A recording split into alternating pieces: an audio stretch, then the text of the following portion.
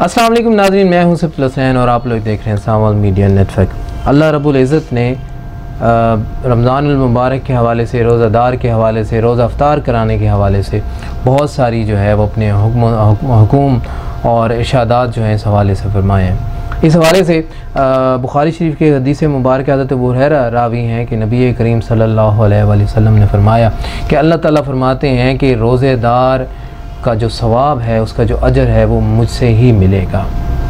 रोज़ादार शहवत से दूर रहता है, गुनाहों से दूर भागता है, सिर्फ़ और सिर्फ़ मेरी रज़ा के लिए। और रोज़ेदार के लिए दो खुशियाँ होंगी बरोज़ क़्यामत। एक, कि जब वो रोज़ा इफ्तार करेगा और दूसरा, जब वो मेरी ज़्यारत करेगा।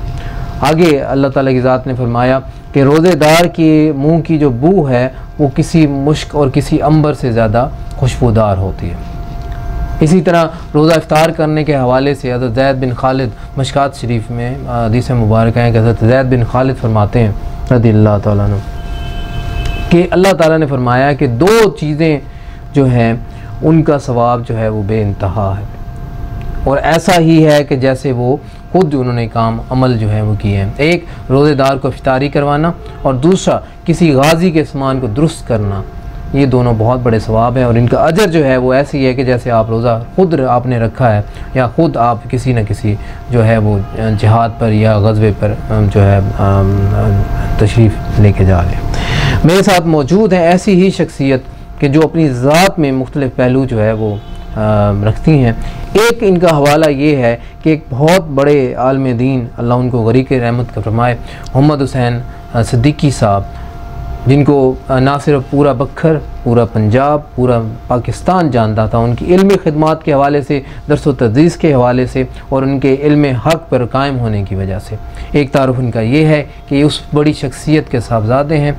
और दूसरा, अगरचे ये बाय प्रोफेशन जो हमत से इनका ताल्लुक़ है, लेकिन उसके बावजूद फलाही कामों में ये हर जगह और हर लहजा जो है वो तैयार रहते हैं। अतर फाउंडेशन के ये बानी हैं, मेरी मुराद मोहम्मद अतर सदीकी साहब हैं, हमारे साथ मौजूद हैं। एक तो हम आपको खुश आमदीद कहते हैं कि आपने अपने कीमती वक्त में से, मसरूफ़ तरीन वक्त में से, आपने जो है वो हमें जो सावल मीडिया नेटवर्क के नाजरन को जो है वो वक्त अता फरमाया। दूसरा, अतर फाउंडेशन इसके बारे में तारुफ जो है वो फरमा दीजिए कि अतर फाउंडेशन का ख्याल आपको कैसे आया और एक हमत से पेश, के पेशा से मुंसलिक होने के बावजूद एक फलाई कामों में जो आपका माशाल्लाह से जज्बा है, क्या ये आपके वारद ग्रामी की तरफ़ से आपको मिरास है या इसके अलावा भी कोई एलिमेंट जो है इसमें मौजूद है? सबसे पहले तो तमाम जो आपके नाजरीन हैं उनको मेरी तरफ़ से सलाम पहुँचे। और उसके बाद मैं सिफ्तुल हसन भाई आप और सावल नेटवर्क का बहुत शुक्रगुजार हूँ जिन्होंने मुझे ये प्लेटफार्म मुहैया किया कि मैं यहाँ पे बता सकूँ कि अतर फाउंडेशन बेसिकली है क्या? यहाँ भक्कर में चूँकि ये एक ऐसा शहर है जिसे मैं कहता हूँ कि ये बांझ शहर है जहाँ पर कोई ऐसा इस तरह की जो इदारे नहीं मौजूद जो आम बंदे की खिदमत कर सकें। अतर फाउंडेशन बेसिकली मैं आपको एक बात बताऊँ शेख सादी रहमत ने फरमाया कि बच्चा जब रोता है जी। जब वो रोता है तो माँ बाप खुश होते हैं क्योंकि उसका वो रोना जो है सेहतमंदी की अलामत होती है। शेख सादी रहमत फरमाते हैं कि वही बच्चा बड़ा होके कुछ ऐसा करे कि उसके लिए लोग रोएँ। अपने तो रोते ही हैं सिफ्तुल हसन भाई मेरी ख्वाहिश थी क्योंकि मैं 19 साल से 20 साल से मेरा मतलब जो है दवाखाना जो है वो इस्लामाबाद में है। आपने एक बड़ी दिलचस्प बात की कि हमत हमत जो है कहा जाता है कि ये नबूत का सातवां हिस्सा है। जी जी तो ये हमत और ये जो अवाम है जो लोग हैं ये चूली दामन का साथ है। मैं आपको एक, एक बात बताऊँ आपने मेरे वालद मोहतरम का ज़िक्र किया। किबला फ़कीर मोहम्मद हुसैन सिद्दीकी आपको मैं ये बता दूँ और मुझे बड़ा फ़ख्र है कि खैबर पख्तूनख्वा और पंजाब का कोई शायद कोई बड़ा शहर हो जहाँ पे मस्जिद ना बनवाई गई हो सदीकी साहब ने। तकरीबन हर शहर में वालद मोहतरम ने जो है ना मसाजिद खड़ी करवाई है और ऐसी बड़ी बड़ी मसाजिद जो हैं आप खुद हैरान रह जाएँगे उनको देख कर मेरे घर में मोस्टली मैं आपको बताऊँ मेरे घर में ऐसे होता था बचपन से मैंने देखा है जी। कि बीस चार पहियाँ एक्स्ट्रा और बीस बिस्तरे एक्स्ट्रा होते थे। क्या बात। और कई दफ़ा ऐसे होता था कि रात को एक बजे जो है मेहमान आ गए हैं। हम हम अपने घर में भाग दौड़ देखते थे। अम्मी उठ रही होती थी उस टाइम गैस होती नहीं थी लकड़ियाँ जलाई जा रही होती थी और उनके लिए खाना पक रहा था। और आपको ये भी बता दूँ कि बाज़ात बीस बीस मेहमान आ जाते थे। मोस्टली जब यहाँ पे मुहर्रम के हवाले से जो खसूसी जलसे होते थे तो जो बाहर के उलमा आते थे वो अपने दोस्तों के साथ साथियों के साथ नात खानों के साथ उनका रात का स्टे मोस्टली हमारे पास होता था। जी। और यहाँ पे मैं ये भी बता दूँ कि मेरी वालदा मोहतरमा जो है एक से दो बंदों का रोज़ाना जो है वो खाना एक्स्ट्रा बना के रखती थी। कि हो सकता है कोई आ जाए। अगर सपोज़ नहीं आता था तो वो कहीं ना कहीं किसी के घर में भिजवा देती।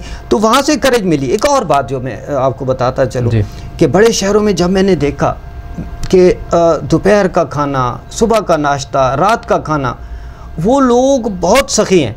जी। सिफ्तुल हसन भाई ये जो सखावत है ना ये भी मेरे खुदा की तरफ़ से वदीयत है। जी बिल्कुल ऐसे। ये हर बंदा तो कर ही नहीं सकता कि ये बंदा कहे कि जी मैं खुद से कर लूँगा नहीं कर सकता। सही फरमा ये पिछले सात साल से अल्हम्दुलिल्लाह अतर अ, फाउंडेशन के प्लेटफार्म से न सिर्फ़ मैं अफ्तार दस्तरखान चला रहा हूँ उसका अहतमाम करता हूँ। उसके अलावा हफ़्ते के रोज़ जुम्मा हफ़्ता इतवार वीकली ये तीन दिन जो है ये दस्तरखान लगाया जाता है। रमज़ान शरीफ से अलावा। रमज़ान शरीफ के अलावा। उसके अलावा ये कि मैं इस्लामाबाद लाहौर में बखर में डोर टू डोर जाता हूँ लोगों के घरों से काबिल इस्तेमाल कपड़े काबिल इस्तेमाल जूते काबिल इस्तेमाल किताबें खिलौने वो इकट्ठे करता हूँ फिर यहाँ घर लाता हूँ उनकी बाकायदा पैकिंग करता हूँ और फिर आ, उसी को उनको डोर टू डोर तकसीम करता हूँ। ये तो एक छोटा सा एक अतर फाउंडेशन का तारफ़ है। उसके अलावा जो मेरे जहन में है अतर फाउंडेशन के हवाले से मैं आपको बताऊँ कि इन शनकरीब आप देखेंगे बहुत जल्द आप इंशाल्लाह यहाँ पे देखेंगे कि यहाँ वन वन टू टू की तरह एक सर्विस भी आपको मिलेगी। क्या बात एक एमरजेंसी नंबर भी मिलेगा। और इंशाल्लाह अ, चूँकि मैं आपको एक बात और भी बता दूँ ये जो एन का ये सिलसिला होता है ना ये बेसिकली वन मैन शो ही होता है। आप अब्दुस्तार ईदी को देख लें जी जी आप छिपा साहब को देख लें आप। अंसार बर्नी को देख लें हती कि इमरान खान को देख लें। जी। इमरान खान भी तो अकेला था ना जब उसने कहा था कि मैं जी अपनी वालदा के नाम का कैंसर हॉस्पिटल बनाऊँगा तो ये उन्होंने एक इतना बड़ा जो है कैंसर हॉस्पिटल अब तो कराची में पिशावर में भी खड़ा कर दिया। और इसी तरह देखिए ये मेरा छोटा शहर है इस मट्टी का मेरे ऊपर एक हक है। बेशक। इस मट्टी ने जैसे कहते हैं ना कि धरती माँ होती है तो ये भी एक तरह से माँ है इसका मेरे ऊपर कुछ हक है कि मैं इसको कुछ वापस करूँ। जी। शेख सादी से। फिर चूँकि शेख सादी मेरे वाले साहब भी बहुत ज़्यादा पढ़ते थे मैं भी पढ़ता हूँ। क्या बात। तो शेख सादी से किसी ने पूछा कि ताल्लुक़ कैसे बढ़ सकता है? तो शेख सादी रहमत ने फरमाया कि दस्तरखान बढ़ा दो। आपका ताल्लुक़ बढ़ जाएगा।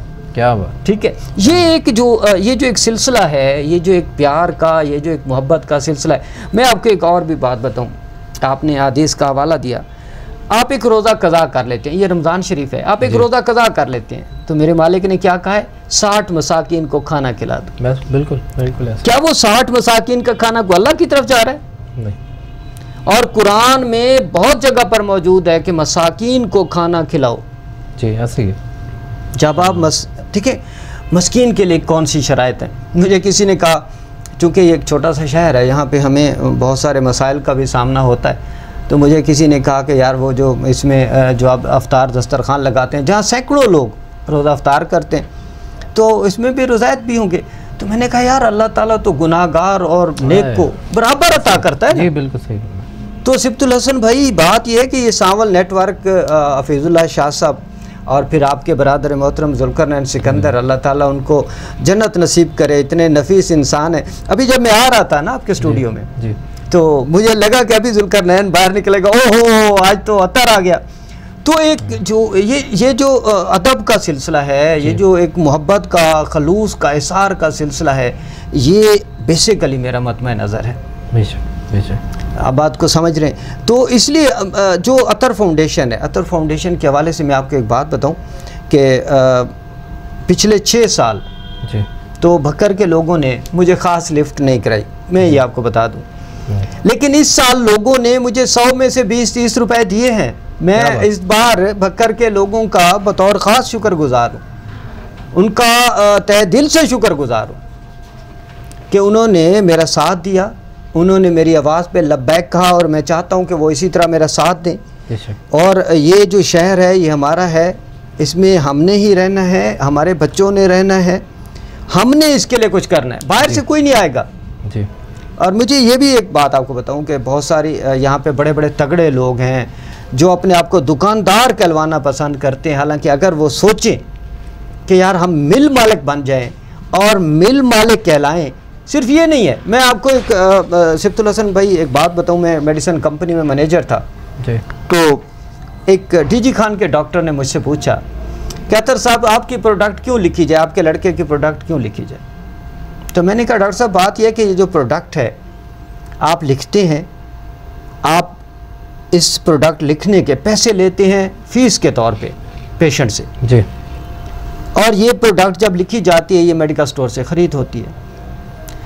आप टेस्ट करवाते हैं इनके उसके भी पैसे लेते हैं। जी। आप डॉक्टर मरीज़ को चेक करने के भी पैसे लेते हैं। अगर आप ये जो लड़का मेरा बैठा है इसकी एक प्रोडक्ट सिर्फ़ इसलिए लिख दिया करें कि मेरी एक प्रोडक्ट लिखने से इसके घर का चूल्हा जलेगा। इसके घर के सात लोग जो है मेरी एक प्रोडक्ट लिखने से खाना खाएँगे। जी। और फिर मैं आपको बताऊँ मैंने कहा डॉक्टर साहब आपको बताऊँ कि पीछे एक पूरी चेन है। जी। इसी का बेनिफिट मुझे भी पहुंचेगा।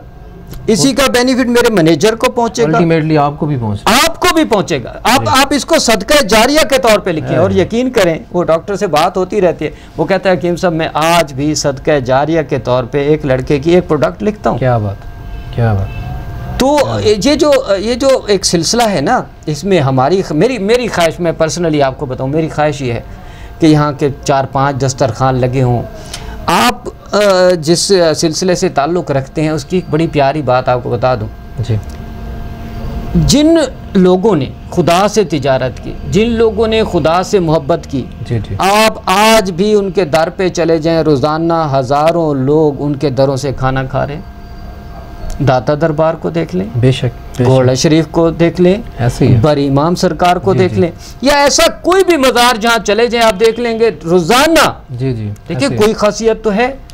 कोई काबिलियत तो है कि मेरे रब ने उनके घर के बाहर जो है खाने का देखिए देता रब है। बेशक। मालिक वो है लेकिन वो इख्तियार दे देता है। जी। अब एक बंदा मेरे पास आता है हकीम साहब मेरे घर में राशन नहीं है मेरे घर में खाने को कुछ नहीं है तो मैं कोई खुदा हूँ? नवज़बिल्ला मैं तो उसका आजिज सा बंदा हूँ मैं तो उसका हकीर सा इंसान हूँ ना। वो मेरे पास रब ने भेजा है। तो मुझे तो फ़ख्र करना चाहिए कि अल्लाह ने मुझे चुन लिया।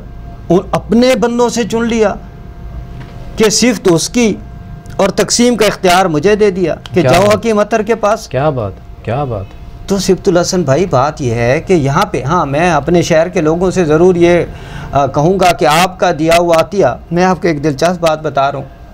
जब ये सिलसिला चल रहा था तो मेरे पास क्लिनिक पर दो से तीन तोड़े पचास पचास किलो वाले चीनी के मौजूद थे। जी। और सुबह शहरी के वक्त जो है ना मुझे मिसिज़ चीनी दिखा रही थी तो इतनी सी चीनी पड़ी थी और कह रही थी खुद तुम इतने बड़े बड़े दस्तरखान चलाते हो। इतनी चीनी वहाँ पड़ी है और घर में चीनी नहीं है। तो मैंने कहा बात यह है कि वो और सिलसिला है। घर और सिलसिला है। जी। बात यह है कि ये जो मेरा शहर है ना इनके लोगों का एक एक रुपया मेरे पास अमानत होगा। इन और ये देखेंगे कि यहाँ पे एक इंशाल्लाह एक बहुत बड़ा नेटवर्क बनने जा रहा है तर फाउंडेशन के प्लेटफार्म से। ना तो मेरा कोई सियासी मकसद है ना मेरा कोई मजहबी कोई ऐसा इस किस्म के कोई प्लानिंग है। मेरा मकसद मैं बहुत सारी बातें हो जाती हैं चूँकि हम मैं आप वसल्लम की हदीस मुबारक है। आपने फरमाया कि सबसे अच्छी जगह मस्जिद और सबसे बुरी जगह बाज़ार है। जी और मैं बाज़ार में पिछले तीस साल से बैठा हूँ। क्योंकि मैं हकीम हूँ अल्हम्दुलिल्लाह पूरी दुनिया में से। लोग ये एक, और सवाल भी आप शायद मुझसे कर लेते तो मुझे ज़्यादा अच्छा लगता। लोग मुझसे पूछते हैं हकीम साहब आपने ये अभी जो सिलसिला था इसमें आप यकीन करें कि दस बारह लाख लग चुके हैं। तो कहते हैं कहाँ से आते हैं पैसे? तो मैं आपको आज यहाँ इस प्लेटफार्म से सावल नेटवर्क के प्लेटफार्म से ये भी बता दूँ कि कहाँ से आते हैं। एक तो मैं खुद पूरा साल बचाता हूँ। जी। उसके बाद मैं अपनी फैमिली से लेता हूँ। जी। उसके बाद मैं जो मेरा पेशेंट है पूरी दुनिया में मेरा पेशेंट है अमेरिका में मेरा पेशेंट है अल्हम्दुलिल्लाह बरतानिया में मेरा पेशेंट है इसी तरह कुछ दोस्त भी बना लिए मैंने। तो मैं उनसे रिक्वेस्ट करता हूँ कि ये एक सिलसिला है वो कोई दवाई मंगवाते हैं पच्चीस हज़ार की दवाई है तो मैं कहता हूँ पाँच हज़ार मुझे साथ भिजवा दें। जी। कोई पाँच भेज देता है कोई दो भेज देता है कोई नहीं भी भेजता। तो ये एक सिलसिला है ये एक प्यार का सिलसिला है ये एक इशार का सिलसिला है बेसिकली जो मैं चाह रहा हूँ। कि ये सिलसिला आप जैसे भाई जो इतने माशाल्लाह काबिल इंसान है। मैं बहुत कम अरसे में सिद्दुल हसन भाई आपने जो है एक नाम बनाया है। जो लोग नाम बनाने के लिए ना सालों लगाते हैं। आपने दिनों में वो मकाम बना लिया। आपने दिनों में वो अपने लिए एक जो है इज़्ज़त का जो है वो मकाम बना लिया। अल्लाह ताला आपको और मज़ीद तरक्की अता फरमाए। जो अतर फाउंडेशन है वो इस हवाले से काम यकीनन करता रहेगा। बेशक। और मैं यहाँ पे ये भी कहता हूँ कि जो मेरे सहाफ़ी भाई दोस्त हैं वो ज़रूर मेरे पास आएँ। जो कुछ मेरे पास से हो सकेगा मैं उनके लिए भी ज़रूर करूँगा। और जो भी लोग हैं जो भी मुखैर हजरात हैं वो मैं इतना उनको बता दूँ कि यहाँ पे ऐसा कुछ भी उनका ज़ाय होने वाला नहीं है। मैं आपको एक दिलचस्प बात बताता हूँ कि जब से इस सिलसिले में आया हूँ जी। इस सिलसिले में आया हूँ तो मेरे घर में जो है ना रमज़ान शरीफ वैसे आम रूटीन में भी रमज़ान शरीफ में रेल पेल होती है। क्या कैसे रेल पेल होती है? कि 20 से 25 तीस किलो पकोड़े बनते हैं। जो मैं पकोड़े बाज़ार से 300 के लेता था वो मुझे नहीं लेने पड़ते। वो मेरे घर में रब ने रिस्क भिजवा दिया। जो मैं फ्रूट चूँकि फ्रूट जो है मेरे पास 30-40 किलो डेली लगता था वो मेरे घर में मौजूद। आप समझ रहे हैं? और चावल डेली मेरे घर में मौजूद। और ये जो एक मेरे रब की तरफ़ से अता है अल्लाह ताला ने फरमाया मेरे साथ तिजारत करो मैं अपने दोस्तों को ये गुजारिश करूँगा हाँ। कि वो अल्लाह के साथ तिजारत करें। ये जहाँ बड़े बड़े दुकानदार बैठे हैं जो दुकानदार कहलवाना पसंद करते हैं वो यहाँ इंडस्ट्री लगाएँ इंडस्ट्री लगाएँ। और इंडस्ट्री पता क्या सोच के लगाएँ? कि मुनाफा तो मिलेगा लेकिन हम हज़ार दो हज़ार तीन हज़ार ख़ानदानों को रिस्क मुहैया करेंगे। देखिए ये रब की सिफात हैं जो बंदों में वो तकसीम करता है। जैसे जज को देख लें आप वकील हैं माशाल्लाह। जज को देख लें वो इंसाफ कर रहा है। जी ये जो। इंसाफ करने की सिफत है ये खालिस्तान मेरे रब की है। बेशक, बेशक। लेकिन तकसीम कर दी क्योंकि हम उसके नायब हैं ना। जी ऐसे। तो ये जितने भी बड़े बड़े ताजर हजरात बैठे हैं ये पैसा साथ लेके नहीं जाएँगे। क्योंकि कबर में और कफन में कोई जेब तो होती नहीं। तो यहाँ पे इंडस्ट्री लगाएँ इस इंडस्ट्री लगाने के लिए सिर्फ़ एक विजन रख लें कि ये सदका जारिया है, मुनाफा मिलेगा। आप बैठोगे कहीं तो कहा जाएगा या फलां जो है वो मिल ओनर है। और अभी क्या, मैं भी दुकानदार हूँ, वो भी दुकानदार है। उसके घर में अरबों पड़े हैं, मेरे घर में जो है थोड़ा होगा, मैं फकीर आदमी हूँ, दरवेश आदमी हूँ। लेकिन उनके घर में अरबों पड़े हैं, लेकिन दुकानदार हैं और मैं भी दुकानदार हूँ। तो उनको चाहिए कि वो अपनी पहचान बनाएँ मिल ओनर बने। यहाँ पे मज़दूर पेशा लोग हैं यहाँ पे गरीब लोग हैं। जो गरीब लोग हैं जो सफ़ेद पोश हैं उनकी बच्चियाँ बैठी हैं। जेज की वजह से रिश्ते नहीं हो रहे। तो आए वो इस मैदान में हमारे साथ चलें हम उनके साथ चलने को तैयार हैं। हमारे साथ आएँ। और मैं तो और एक बात आपको दिलचस्प बात बताऊँ जो भी बकर के लोग थे जो भी यहाँ पे इन, जो मेरे साथ चलना चाहते थे तो मैंने कहा यार तुम देख पकवा के ले आओ और ख़ुद आके अपने हाथों से तकसीम करो। खजूर ले आओ चीनी ले आओ मुझे पैसे ना दो। अपना ट्रस्ट डेवलप करना इन लोगों पे। देखिए हम पाकिस्तानियों का सबसे बड़ा प्रॉब्लम तो यही है जी। कि हमारा ट्रस्ट नहीं है। वरना हम पूरी दुनिया में सबसे ज़्यादा सदक़ात खैरात अतियात देने वाली कौम है। और इबादत जो है ना मेरी सिफ्तुल हसन भाई नमाज़ आपकी है और मेरी है। नमाज़ का असर मस्जिद के बाहर नज़र नहीं आता तो उस नमाज़ का कोई असर नहीं होता। जी। नमाज़ का असर बाहर नज़र आना चाहिए जब हम मार्केट में जाते हैं जब हम पड़ोसी के घर जाते हैं या गली में जाते हैं तो पड़ोसी हमें किस नज़र से देखता है? तो अतर फाउंडेशन इन अपने प्लेटफार्म से बखर के लिए अनकरीब बहुत बड़े बड़े प्रोजेक्ट अभी मैं एक और स्कूल बना रहा हूँ। जिसमें फ्री ऑफ़ कास्ट एजुकेशन होगी उसमें कुरान एकेडमी है जिसमें मुफ़्त तालीम दी जाएगी। और कोशिश करूँगा कि जो गरीब के बच्चे होंगे जो मुस्तक बच्चे होंगे उनको दोपहर का खाना भी दूँ। तो इन ये एक सिलसिला है ये खैर का सिलसिला है ये इशार का सिलसिला ये चलता रहेगा इन बहुत शुक्रिया बड़ी मेहरबानी।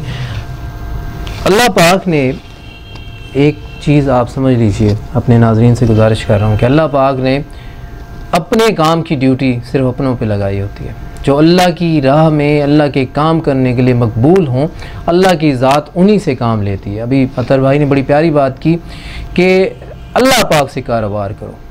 अल्लाह पाक से कारोबार करो। कैसे करेंगे हम? अल्लाह की राह में सदक़ जारियत देकर, अल्लाह की मखलूक की खिदमत करके। जैसे कि इशफाक अहमद साहब फरमाते हैं कि उनका एक एक लफ्ज़ हुआ करता था, हर प्रोग्राम, जो उनका जाविया प्रोग्राम लगा करता था, उसके एंड पे ऊपर वो फरमाया करते थे कि अल्लाह आपको आसानियाँ अता फरमाए और आसानियाँ तकसीम करने का शर्फ अता फरमाए। तो एक दफ़ा उनको, उनके ही किसी हवारी ने उनसे पूछा कि, हज़रत, ये जो आप बात करते हैं, इसके बारे में इसके पीछे लॉजिक क्या है? तो उन्होंने बताया कि मेरे पीर मुर्शद से मैंने यही सवाल किया और उस वक्त मैं ज़माने तालब इलमी में था और मेरी जो घरेलू हालात थे, मेरी जो जेब की हालत थी, वो इतनी कुशादा नहीं थी कि मैं किसी और की मदद कर सकूँ। तो मेरे पीर मुर्शद यही फरमाया करते थे कि अल्लाह पाक तुम्हें आसानियाँ तकसीम अल्लाह पाक तुम्हें आसानियाँ अता फरमाए और आसानियाँ तकसीम करने का शर्फ अता फरमाए। तो मैंने गुजारिश की कि हज़रत, मैं तो नहीं कर सकता। तो उन्होंने कहा कि किसी गरीब को खाना खिला सकते हो। तो मैंने कहा हजूर मैं वो भी नहीं कर सकता। तो उन्होंने कहा, किसी गरीब को दुआ तो दे सकते हो। उन्होंने कहा, जी, बिल्कुल मैं कर सकता हूँ। तो कहते हैं, किसी को दुआ दे दो। किसी के लिए बेहतर कुछ सोच लो और किसी को अदब से पुकार लो। तो तुम उसके लिए आसानियाँ तकसीम कर रहे हो। हमारी दुआ है, अल्लाह पाक से सदा है। अतर भाई जैसे लोग अल्लाह पाक इस दुनिया में कायम व दायम रखें। और फिर इन ये जो अशफाक अहमद साहब का जो लफ्ज़ है, वो इन आपको हर वीडियो में नज़र आएगा। कि अल्लाह पाक आपको आसानियाँ अता फ़रमाए, आसानियाँ तकसीम करने का शर्फ अता फ़रमाए। मैं हूँ सब्सलसनैन मेरे साथ कैमरा मैन मौजूद हैं दानिश लतीफ़। इन फिर किसी ऐसी ही शख्सियत के साथ हाज़िर होंगे। तब तक दीजिए इजाज़त। अल्लाह हाफिज़।